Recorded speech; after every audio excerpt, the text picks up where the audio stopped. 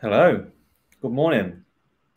I hope everyone can hear me okay. If you can hear me okay, can you just put in the chat box, which I think is located on the bottom right, just to let me and Rebekah know that you can hear us loud and clear. Do you want to say hello, Rebekah, just to make sure our sound is, is okay?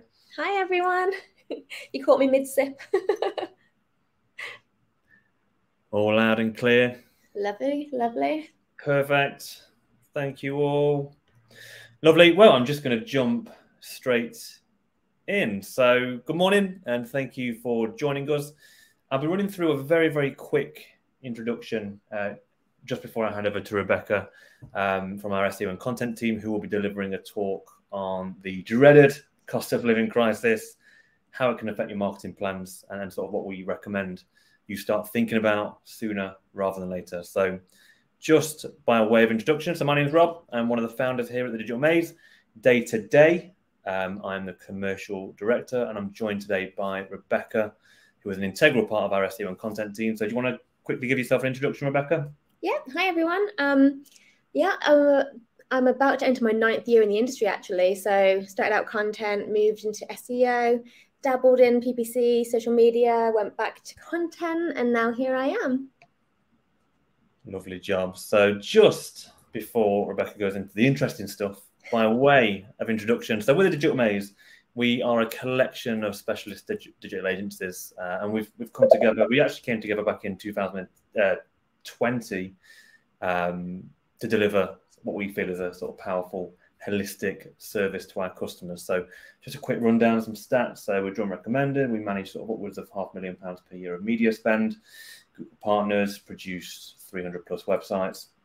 We've got a team, I think it's actually around 46 people we've got in the team now, and that's spanning across SEO, paid media, and web development. Um, you know, we, we write for some of the industry's top publications as well, which Rebekah has certainly done. I know that for sure because one got released very recently, as recent as last week, I think. Yeah. Um, and just so you guys know that we walk the talk as well as talk the talk, here's a handful of our customers uh, spanning sort of our SEO, paid media, and web development services. A large portion of our client base are, are e-commerce based. This is where we feel the greatest marketing opportunities are, uh, and where we feel as a team we do our best work. And obviously, it's also an area that's impacted by the cost of living crisis. So, um, yeah, very, very relevant to us, very high in our thoughts. So, I am going to hand right over to you, Rebekah, and I'm going to hope this transition from me stopping sharing my screen and my presentation and you sharing yours is smooth. So, over to you. Okay, let's do this. Okay, can everyone see my screen? I can see Rebekah. Awesome. Because, yeah, yeah. Some of you may know the story of when that didn't happen the once. so good to know. Awesome. Thank you, guys. Okay, so if any of you have ever seen my presentations before, you'll know that I like to give everything a theme. Um, it's been things like Marie Kondo, Gilmore Girls. My next one in a couple of weeks' time is going to be Jurassic Park themed. Um, so for this one, I was trying to think of what can I do to sort of lighten the mood a little bit because the cost of living is a really stressful situation. So the theme today, oh, it's going to work. There we go, is the pets of the office. So every now and then I'll just throw a picture of a pet at you uh, just to help everyone not get so down, really, because it's quite a serious topic, isn't it? So the one on the right is my boy, Maurice. Uh, the one in the middle is yours, right, Rob? It is. That's Chip. Trying to be a cat. Acts like a cat. Cool. Okay, so the story so far, you may know this, but I'm going to give you a bit of a, a brief overview. The cost of living crisis is something that's recently started, but is worrying a lot of people. And it's really going to affect everyone from brands to consumers. Um, I did a quick look this morning to make sure that this kind of stuff, well, to be honest, I was hoping that it was all going to be cleared up, but no, it's all still happening. Um, but this just shows the breadth of, of who's being hit. So you've got pensioners being hit, you've got children not being able to eat, you've got people coming out of retirement, people getting uh, animals are being put up for adoption. It's just it's hitting every single facet of human life, and it's only just begun. We don't know where it's going to go. So I decided to have a look to see if we have any data so far that we can use. So KPMG did a survey of 3,000 consumers asking them about how they were planning to spend their money in 2022. So I'm going to run through some of the findings with you. So, so far, 31% have said that they've already started buying less in anticipation of the cost of living crisis getting um, quite bad. 43% are going to plan to buy the same that they did last year. But let's also bear in mind that last year we also had a pandemic. So that doesn't necessarily mean that they're spending the way they usually do. They're just going to spend the same as they were during the pandemic.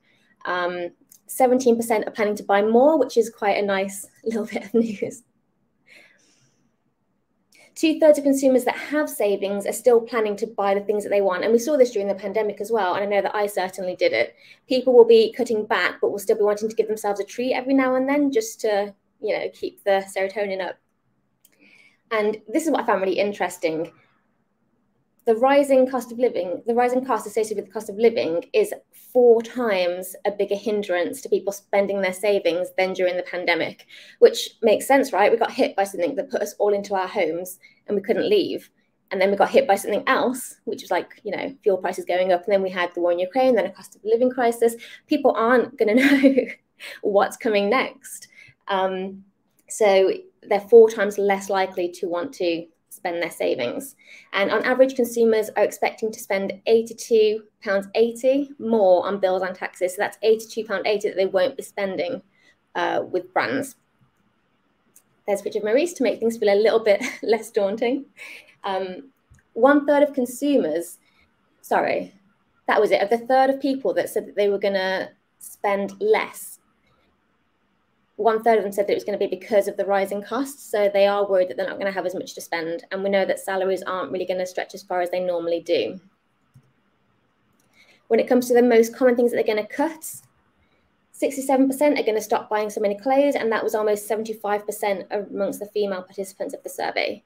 51% are having less takeaways. I know I'm definitely within that, sadly. Um, 51% are going to cut back on their food and drink shopping. 47% are going to go to the cinema less, going to be doing, um, I guess, like escape rooms, those kinds of experiences that you tend to do with other people. 39% are either looking for lower cost holidays or putting their holiday back entirely for a little while. And 34% are buying less beauty products and services. So anyone who operates in these sectors are going to feel these hits. 31% are lowering their uh, the amount of spending on transport and vehicle use. Subscription boxes is interesting because they they really grew in popularity over the last few years, haven't they? But they're also going to take a hit as well. 26% of people aren't going to be spending money on those subscription services. So the likes of Netflix, uh, the likes of gift boxes, that kind of thing, your Graze boxes, all that stuff. And 18% are going to cut back on their fitness, um, which I'm assuming is gym memberships and the like. Of the participants that have savings, they said that they want to put their money towards the following this year. So 38% will be spending their savings on that holiday. 32% on home improvements, 22% on buying a new car, which is interesting when you think of how a lot of participants are going to spend less time traveling. Um, 21% on home appliances and electronics, 19% are going to use their savings on a new house, and 1% stated other. So we're not sure what that is. So people operating in this sector may not see quite the turn down that, that others will, but again, you just don't know because it's all still so new. This is kind of a caveat. So we haven't seen the true impact of the cost of living crisis. So all this information uh, is just the start, really. Um, but what we do know, based on that information, is that brands are going to probably have a bit of a rough ride, just like everyone over the next, hopefully, few months here's a picture of a dog, just to make you feel a bit better.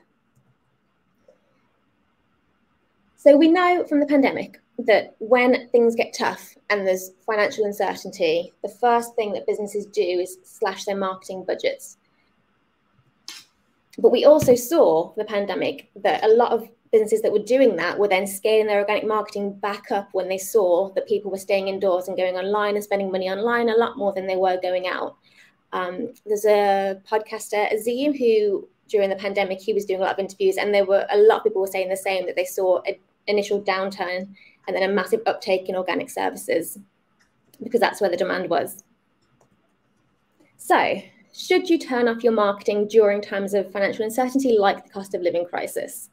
I'm not going to be able to tell you categorically whether you should or shouldn't, but here's just a few reasons why I personally think that you shouldn't turn it off entirely. And I know that it's not a switch of a button, um, but for the, the concept of this, let's just pretend it is. So, during the uh, post-pandemic, brands that continued to stay relevant and continued to engage with their consumers and spend time with them were more successful when it came to recovering post pandemic than any brands that disappeared, i.e., switched their marketing off.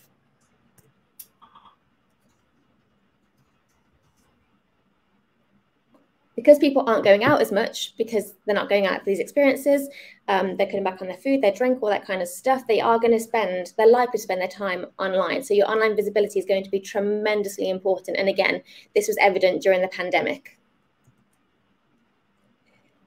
And just because shoppers and visitors aren't investing right now doesn't mean that they're not going to see your site, see how you're engaging and how you're acting, and then come back and buy from you at a later date. And it's better for you to have that than for them to get your competitors.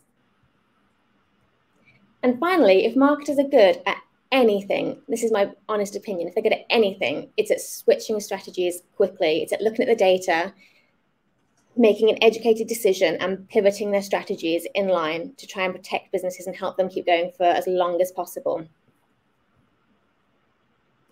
So they're my reasons why I personally think you shouldn't switch it off entirely. You may need to change things up, um, but I just did want to highlight those points. So I also wanted to cover how the cost of living crisis could impact your marketing. And again, I just need to caveat that we're in very early days. We don't know what's going to happen. Um, so these are just sort of educated assumptions. So when it comes to your online stores, um, you may see more traffic, but less traffic when it comes to your actual physical brick and mortar stores.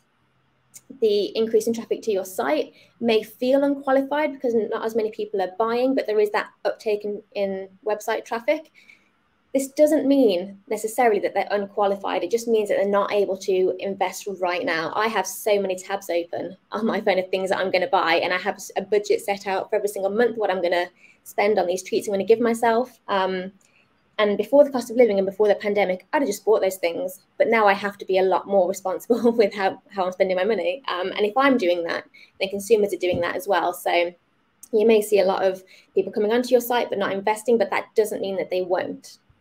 Um, and you may also find your less pop- your less popular e-commerce items becoming more popular. So I'm thinking of things that are more need to haves than than want to haves.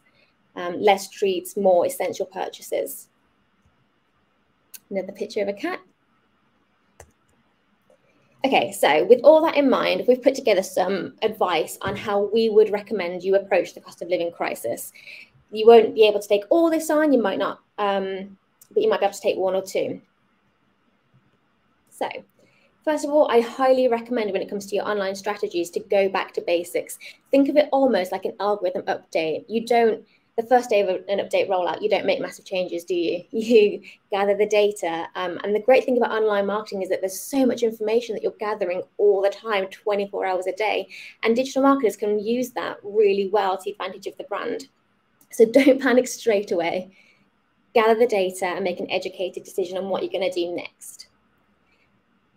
Because people are spending less and they want their money to go a lot further, now is the time to deliver as much value as possible across the entire board of your services. Um, and I do recommend you may have done your, your personas, you may have a really good idea of who your customers are, what they're thinking, but right now, what they're thinking is likely very different to what they were thinking six months ago, two years ago, pre pandemic, it's likely really different. So do that research again and figure out what's on your audience's mind, your potential customers' minds, and how you can help them. Giving as much value as possible is going to be key at the moment.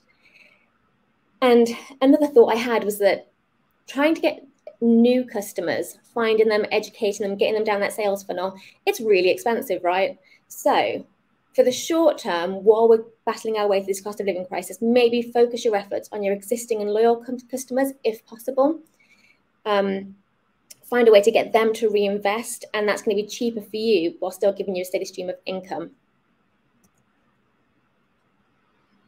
If you're using multiple platforms, so you have SEO, PPC, social media, PR, that's a lot, right? Especially when you're trying to cut back on budgets. So there are things that you can do here. You can look at cost saving content strategies. So normally we would say if you if you're creating um, a piece of content to look at where you want to put it and then optimize it for that platform. What we're saying at the moment in the short term is to look for content that can be used on multiple platforms. So can you do a, a hub piece of content that can be shared socially, um, put through PR, You can sit on your site, you know, things that have more than one place to sit. Um, and also, as, as a caveat to that, if you could maybe do it in different formats, so long form video if you can, uh, speaking, so that what's it called, so that people can hear it, um, like a podcast. My next piece of advice is to do some competitor research. How are they responding? And again, this isn't to steal any ideas or to copy them, but it's to see if they understand the audience like you do your competitors may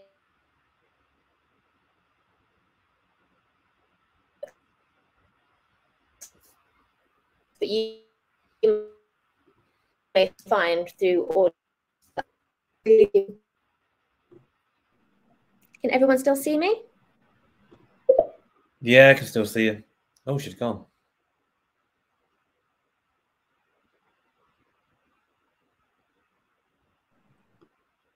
Am I back? You have an internet connectivity issue, Rebekah? I am. oh dear.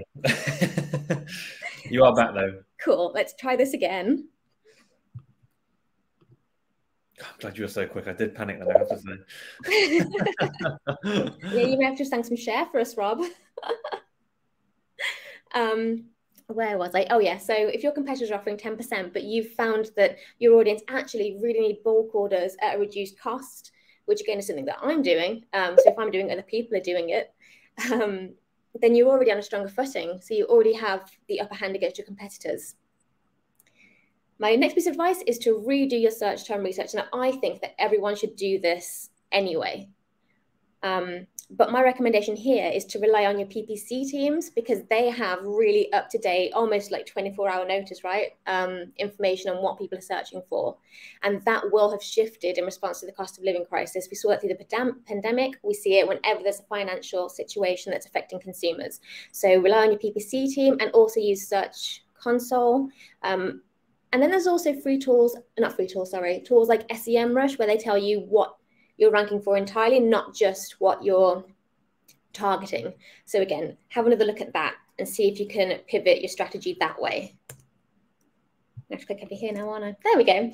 Um, my next advice is to recenter your communications. So, as I mentioned earlier, if you have products that you can categorize into nice to haves and need to haves, maybe ask your team to focus on the need to haves and really pushing those through digital marketing rather than the want to haves because we know that more people are going to be spending on the need to have. So they will sometimes grab a want to have as a treat to get that serotonin level up. Excuse me, but the need to have will be um, something that a lot of people are focusing on right now. This next one is a little pet peeve of mine, so I did want to bring it up. And it's that when it comes to talking to your customers, you need to be empathetic and helpful, but don't fall into the habit of constantly referencing a motto if I had a penny for every time I heard, times are tough, we're here for you during the pandemic, it was infuriating. So try and keep some originality there. And my last point if you do need to put the prices of your products up, which we know you may have to, that's sometimes unavoidable. Um, make sure that you're increasing the value of what you're offering as much as you possibly can and make a plan on how you'll communicate this. Someone's just said we're all in this together, not really. which I think is in reference to um, pandemic talk. um, yeah, so we have a look at how you're communicating with people. This is a really good example that I found. This is a small business, and again, they used uh, one piece of content in different ways. It was on the same platform, but you kind of get the idea. So they had the same content in image form, and then they had a write up at the top so that different people with different preferences can read whatever they want. Um, and essentially, they were saying, okay, guys, we haven't increased our prices for eight years. We're a small business. If we don't increase it, we're gonna we're gonna go under. And loyal customers will see that and they'll want to support the brand. And it just makes them more likely to, to carry on supporting you. Whereas if you up the prices and don't tell anyone and someone notices, that's going to leave a really sour taste in their mouth, especially when they've probably saved for that product as well. another little caveat of mine. So everyone at the office is so sick of me talking about purpose-driven marketing. I talk about it all the time. But again, this is a really good time to reevaluate your, your approach to your audience. Uh, from the Edelman Trust Barometer, we know that 58% of consumers that took part in their survey want to buy from a brand that has the same beliefs and values as them. And if you're not sure, if you haven't learned much about purpose-driven marketing because it is relatively new for the digital age, there's um, a post on Moz that I wrote, and at Drink Digital this month, Rob, this month, uh, I'll be talking about creating a CSR strategy, corporate social responsibility. 29th. 29th. 29th, there you go. I'll be talking about it in a bit more detail. Um, I won't go into it all here because we don't have time for me to waffle on for hours and hours. Um, but yeah, grab your ticket to drink and come and have a chat about purpose driven marketing.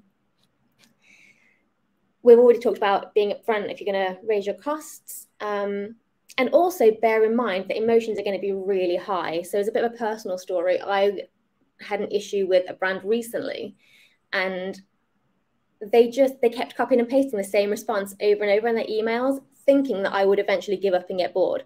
But as someone who works in digital comms, and with so much going on, there's so much uncertainty going around. My emotions were high, so I kept on until I won.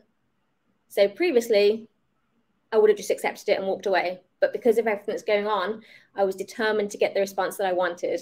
Um, so when you're talking to your consumers, really think about the fact that they they may not be as relaxed as normal. There's a lot going on. There's a lot of stresses. You have to really be empathetic in our approach that way. And here's an example. So uh, you may have seen this. I think her name's Jess Pardo. She wrote a PR piece about this, um, about if bad PR is good PR, and I really highly recommend you going and check that out. But uh, I got this story from there. So, Asda brought out a new line of um, lower cost products, let's say, and there was an initial uproar because people were saying that it's embarrassing um, and that they're calling out poorer families by showing them this bright yellow packaging. Um, and the response, and as they didn't jump up quickly and defeat them, uh, defend themselves straight away, as far as I'm aware, what happened was that other consumers came up and was like, actually, we're all in the same boat. We're all trying to save. It's not anything to be um, embarrassed about. So, Asda's next campaign was embarrassed to save money, not according to our customers. So they flipped that on its head and they were really empathetic to say, actually, you shouldn't be embarrassed to save money. We're all in this together. And I really liked that example, so I wanted to include it.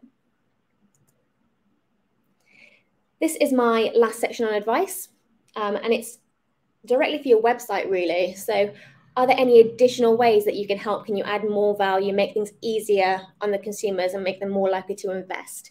So, like I mentioned earlier, can you do deals? Is there a discount you can give them on uh, bulk purchases? Can you offer buy now, pay later schemes? And just a caveat to that, there are a lot of legalities associated with that. So if you haven't got that on your site, but you want to, I really recommend getting financial advice and legal advice just to make sure you're covered. Um, can you implement a loyalty program? I don't know if any of you shop at Costa, but they do a loyalty program. But if you take your own cup, they give you two points. So you get a coffee, a free coffee every five purchases rather than every 10. Um, so I go to Costa every time I go to the office because I get I feel like I'm getting a free two free coffees for the price of one, if that makes sense. Uh, other options: can users pay via PayPal so that they can pick a PayPal credit, or can they pay for a product on your site using Monzo Flex? Just these little ways that they can spread the cost a little bit. Remember, it's eighty pounds eighty-two, I think it was, uh, that people are going to put towards bills in air quotes because we don't know the full extent. Uh, so making things as cheap as possible for the longer run is going to be great, I think. Uh, and then also when it comes to your content that you're producing, again, don't focus so much on trying to get the new visitors and educate them and get them down the funnel. Provide really useful content for your loyal and current customers to help them increase the longevity of their product so that when it becomes time that they need to actually replace it properly because they can't fix it anymore, um, that they're going to come back to your brand because you're you weren't the one saying, "Oh, it's broken. I'll come get a new one." You were saying, "Okay, it's broken. Have you looked at this? Have you looked at this? Have you tried that?" You've given them really helpful content that isn't focused on trying to get money off them during this really stressful period of time.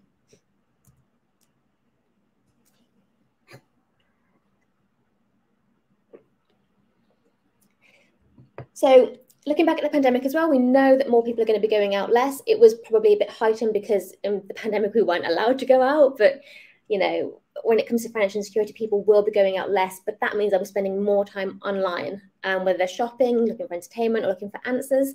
So I I genuinely believe that now is not the time to pull the plug on your online marketing efforts, but I do believe it's the time to pivot. Financial experts are saying that the situation is going to get worse before it gets better. So my response to that is to shift your strategies so that you can help your business or uh, your clients um, find ways to help shoppers spend their money wisely and maintain those customer relationships because that's what you're looking for long term relationships of continual reinvestment, right? Digital marketers are amazing at shifting campaigns to respond to situations that are out of our control. We're so creative in that way. So use us. We can be so helpful and we have so much data that we can draw upon um, that's really up to date as well.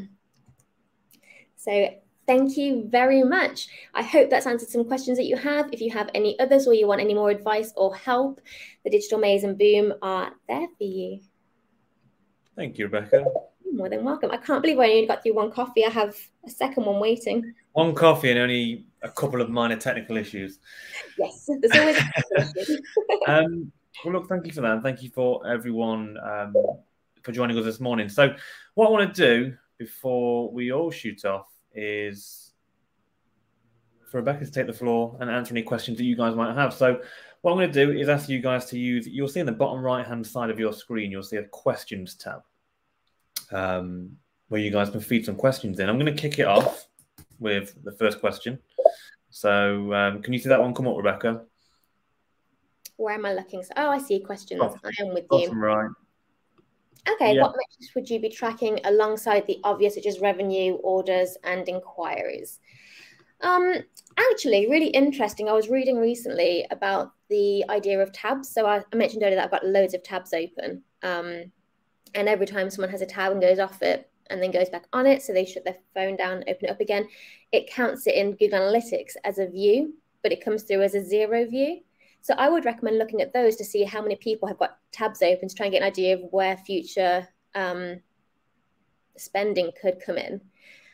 I think assisted conversions are really good as well because you can see what kind of content historically has worked well um, and then put that alongside what you now know of your new audience and see if you can come up with a strategy that way. Um, I've lost the question. There we go. Uh, revenue orders inquiries other metrics? I think return uh, returning customers will be a good one as well because again, we if we're going down the strategy of trying to keep uh, keep loyal customers and get them to reinvest rather than spend so much money and trying to get new customers in the short term, then looking at new versus returning will give you a really good idea if your strategies are paying off in that respect. Perfect. I've, I've chucked another one in there if you don't mind. Sure. Do you think marketers should emphasize this is where I need my glasses. Do you think marketers should emphasize getting potential customers into their ecosystem rather than a direct monetary conversion? I've always thought that. I think that email marketing is so successful because of that. Um, it's keeping up relationships, right? And thinking of the brands that I like the most and that I spend most of my time, they do have a really strong presence online and they do engage, and it's not always about the bottom line for them. Um, yeah. Perfect. So Marcus has asked, do you think SEO is even more important than ever? And if so, why? I mean, I'm going to say yeah because it's my job, right? Not that you're biased or anything like that, no. I do think, though, that the approach to SEO is changing. Yeah. Um, it used to be, you know, X and Y, you get money. And now it is more about, okay, what's our responsibility as a brand? We have to maintain these relationships. What can we do um, for our customers? And I'm seeing a lot of that in terms of um, the purpose of marketing stuff that I've seen. So traditional SEO, where you try and get into position one, uh, maybe is less important, but building those relationships, um, providing value, because more people are online now than ever. So I think the relationship side of SEO is more important than ever. Perfect. Any more for any more. Any more questions from anybody at all? Uh, stick them in the questions tab or in the chat tab, either or. No. Well, lovely. First of all, thank you, Rebekah. I thought that was, um, yeah, no, I thought that was really great. And I, you know, I did read it before, but you know, seeing you deliver it for the first time was was, was great. Added a lot of context to, to some of the slides that, that you had there as well, and some really good advice. So I appreciate everyone's time this morning. Um, oh, yeah. there's a blog post if people want to back. Yes. So if you head to our website, which is Boom Online, boom-online.co.uk, there is actually a blog post that, again, Rebekah has typed up. Um, we were talking this morning about how long that had taken, actually. But um, yeah, there's been a lot of time going into that. So there is a blog post that's gone up on there, um, which sort of supports a lot of the stuff um, that Rebekah's spoken about today. Obviously, we've got the Drink Digital event, um, which happens uh, every two months. and next one is coming up on the 29th of this month. And again, Rebekah, it's I feel like I can keep saying Rebekah and seeing her face. But Rebekah is doing a talk there as well. Um, and we are looking to do more webinars as well. So feel free to check out any further webinars that we do in the future um, or any emails that we send following this. So, yeah, thank you very much. And we'll see you all soon. Thank you, everyone.